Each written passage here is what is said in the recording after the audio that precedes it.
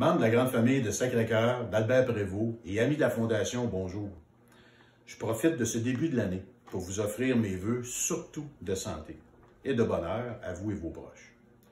L'année 2020, avec ses nombreux enjeux, ses défis, nous aura appris que rien n'est acquis et qu'il est important de s'adapter continuellement. La mobilisation des équipes médicales, administratives, ainsi que celle de notre centre de recherche ont permis de remporter des batailles au quotidien.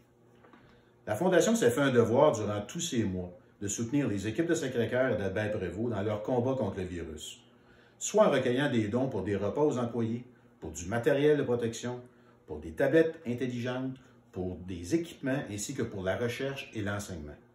Toute cette aide a permis à nos experts bienveillants de faire face à la crise et aussi de partager leurs nombreux apprentissages avec notre réseau de la santé.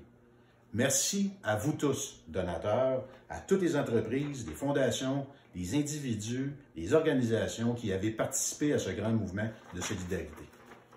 Bien que nos équipes médicales soient mieux outillées pour combattre la COVID-19 grâce aux vaccins, grâce aux connaissances acquises dans le traitement des patients, la Fondation va continuer en 2021 de soutenir nos chercheurs et nos professionnels de la santé pour qu'ils puissent continuer d'accomplir de véritables miracles au quotidien.